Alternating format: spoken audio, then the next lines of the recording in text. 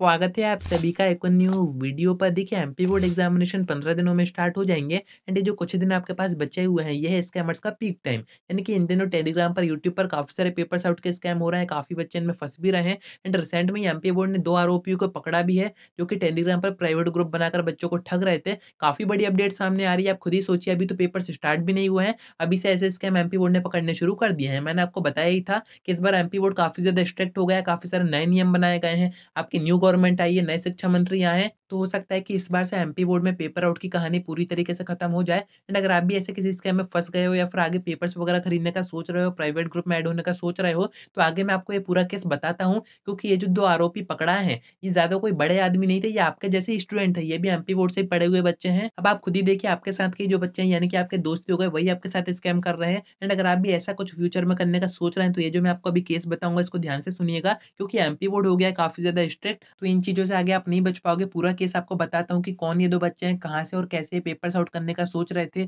किस नाम से इन्होंने ग्रुप वगैरह बनाए हुए थे। अगर आप फ़र्स्ट टाइम मेरी वीडियो देख रहे हो तो सब्सक्राइब ज़रूर से कर दीजिएगा, नोटिफिकेशन आइकन ऑन करके रखिएगा, क्योंकि एमपी बोर्ड एग्ज़ाम से जुड़ी सारी जेन्युइन अपडेट्स आपको यहाँ पर दी जाती हैं। अब देखिए अपडेट सामने आ रही है, इसमें आपको बताया जा रहा है कि दसवीं, बारहवीं पास छात्रों ने फेक पेपर खरीद कर खुद का बनाया टेलीग्राम ग्रुप। एंड ये एक अपडेट नहीं है, ऐसी काफ़ी सारी अपडेट सामने आ रही है, जिसमें कि आपको सेम केस बताया जा रहा है, जो कि एमपी बोर्ड ने भी रिसेंट में पकड़ा हुआ है। आप चाहे तो वीडियो पॉज करके पूरी अपडेट पढ़ सकते हैं, बाकी मैं आपको पूरा केस समझा देता हूँ, जिससे कि फ्यूचर में आपके साथ ऐसा कुछ भी ना हो। यहाँ पर दो आरोपियों के नाम आपको बताया जा रहा है। एक का नाम है धीरज खत्री, जो कि अभी इलेवेंथ का स्टूडेंट है, जो कि उज्जैन से है। दूसरा है यहाँ पर अजय कुमार यादव, जो कि भोपाल से है, जो कि ट्वेल्थ पास कर चुका है। फ़ोटो वगैरह आप अभी स्क्रीन पर देख ही रहे हैं, आप समझ ही गए होंगे। आपके जैसे स्टूडेंट है, ये भी एमपी बोर्ड से ही पढ़े हुए हैं। एक अभी इलेवेंथ में है, एक अभी ट्वेल्थ पास कर चुका है। इन्होंने किया क्या है? इन्होंने एमपी बोर्ड का जो मोनो है, उसको यूज़ करके टेलीग्राम पर ग्रुप वगैरह बनाया। अब इनको ये आइडिया कहाँ से आया तो ये ऐसा बता रहे हैं कि ये दोनों आपस में फ्रेंड बन गए होंगे, एक उज्जैन से एक भोपाल से है, टेलीग्राम पर प्रीवियस ईयर यानी कि प्रीवियस सेशन में किसी ऐसे ग्रुप में ऐड थे जो कि पेपर देने का दावा कर रहा था।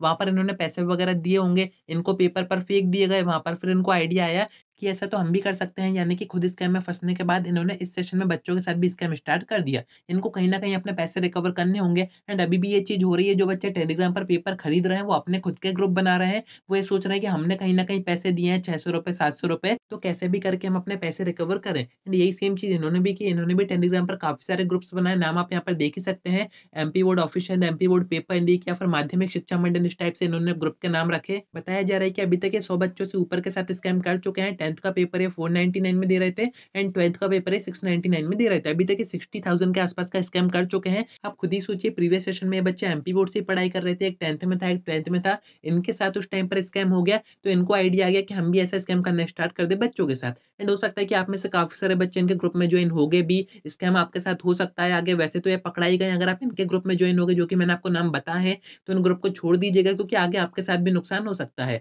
हो सकता है कि आपके ऊपर भी केस हो जाए, क्योंकि एमपी बोर्ड हो गया है काफ़ी ज़्यादा स्ट्रिक्ट एंड अगर आप किसी प्राइवेट ग्रुप में ऐड हो तो हो सकता है कि एडमिन के साथ साथ उसमें जो मेंबर्स हैं, उनके ऊपर भी केस हो जाए। एंड अभी सैटरडे को इन दोनों आरोपियों को पकड़ा गया है इन्वेस्टिगेशन की जा रही है। अभी तक इन्होंने बस इतना ही बताया है कि इन्होंने एमपी बोर्ड का मोनो यूज़ करके टेलीग्राम पर ग्रुप्स वगैरह बनाए थे पेटीएम पर फ़ोन पे पर क्यू से पेमेंट करवाते थे, बच्चों को प्राइवेट ग्रुप में ऐड करते थे, फिर वहाँ पर अपने ही कुछ मॉडर्न पेपर वगैरह भेजते थे, जो कि खुद ही बनाते थे। वो सारे पेपर फेक होते थे एंड आगे बोर्ड एग्जामिनेशन के पेपर देने का दावा कर रहे थे। तो आप देख ही रहे हैं कि अभी से इनके विकेट गिरने शुरू हो गए आपके एग्ज़ाम के टाइम पर ऐसे काफ़ी सारे केसेस सामने होंगे, क्योंकि एमपी बोर्ड के जो एग्ज़ाम कंट्रोलर है, वो इन्हीं सभी चीज़ों पर नज़र रखे हुए हैं। मैंने आपको बताया भी था कि इस बार से आपके सोशल मीडिया पर, टेलीग्राम ग्रुप्स पर नज़र रखी जाएगी एमपी बोर्ड की तरफ़ से, एंड इन्होंने शिकायत करके इन सभी स्कैमर्स को पकड़ाया है। तो अगर आप भी टेलीग्राम यूज़ कर रहे हैं, ऐसे किसी भी ग्रुप्स में ऐड है या फिर प्राइवेट ग्रुप में ऐड है तो आप ऐसा मानिए कि किसी भी आईडी से वो हो सकते हैं, क्योंकि नज़र तो वो रखे हुए हैं तो आप भी कहीं ना कहीं फंस सकते हैं। तो अगर आप पेपर खरीदने का सोच रहे हैं आगे किसी से, या फिर खुद भी ऐसा काम करने का सोच रहे हैं कि हम अपने ग्रुप बनाएँगे, पेपर देंगे बच्चों को, अपने पैसे रिकवर करने का सोच रहे हैं तो ऐसा काम मत कीजिएगा, काफ़ी ज़्यादा नुकसान आपका आगे हो सकता है। अब ये जो पेपर आउट का केस है प्रीवियस सेशन में भी हो चुका है, उस टाइम पर भी बीकॉम थर्ड ईयर का एक स्टूडेंट पकड़ाया था, जिसका नाम कौशिक दुबे था, वो सभी भी यही सारे काम कर रहा था, क्योंकि उसका भी कहीं ना कहीं नुकसान हो गया होगा। तो ये जो बच्चे हैं, जो कि ये टेलीग्राम ग्रुप बना रहे हैं स्कैम कर रहे हैं, ये अपने आप से इंस्पायर्ड हो रहे हैं कि हमारा नुकसान हो गया तो हम बाकी बच्चों का भी नुकसान करेंगे और अपने पैसे कैसे भी करके कवर करेंगे। तो इन सभी स्कैमर से बच के रहिएगा। एंड अगर आपसे कोई कहता है कि हमसे पेपर खरीदो, हम आपको पेपर देंगे तो यहाँ पर एमपी बोर्ड ने आपको दो नंबर भी प्रोवाइड करें जिस जिस पर कि आप इनकी शिकायत कर सकते हो। खुद भी आप बच सकते हैं बाकी बच्चों को भी बचा सकते हैं क्योंकि एग्ज़ाम के दिनों में स्कैमर्स काफ़ी ज़्यादा बढ़ जाते हैं। हो सकता है कि आपका ही कोई दोस्त टेलीग्राम पर कोई ग्रुप वगैरह बना के या फिर यूज़र नेम चेंज करके आपसे कहे कि इतने पैसे हमें सेंड कर दो, हम आपको पेपर देंगे। तो आप समझ ही गए होंगे कि मैं इतनी देर से आपको क्या समझाना चाह रहा हूँ। पेपर आउट वगैरह के चक्कर में मत रहिएगा, किसी भी स्कैम में मत फँसिएगा, किसी को पैसे मत दीजिएगा। टाइम आपके पास अभी भी बचा हुआ है, अगर आपने अभी तक पढ़ाई नहीं करी है, पेपर्स के भरोसे आप बैठे हुए हो, तो पढ़ाई कीजिए, अभी आपके पास टाइम है। पढ़ाई पर आप ध्यान दीजिए एंड अगर ऐसा स्कैम होती हुए आपको कहीं भी दिखता है, तो आप इन नंबर पर शिकायत कर सकते हैं या फिर आप मुझे इंस्टाग्राम पर भी उसके बारे में इन्फॉर्मेशन दे सकते हैं। बाकी आगे मैं देखता हूँ कि क्या मैं कर सकता हूँ। तो उम्मीद है कि आपको सारी बातें समझ में आ गई होंगी। आज की वीडियो में इतना ही। कोई डाउट आता है कमेंट कर सकते हैं या फिर आप मुझसे इंस्टा पर डीएम करके बात भी कर सकते हैं।